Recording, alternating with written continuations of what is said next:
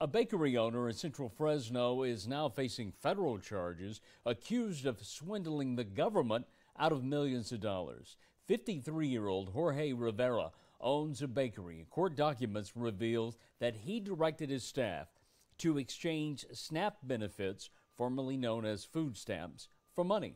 He is also accused of accepting SNAP benefits for unauthorized items at the request of customers. Losses are estimated to be more than $5 million. If convicted, Rivera faces a maximum of 20 years in prison and a $250,000 fine.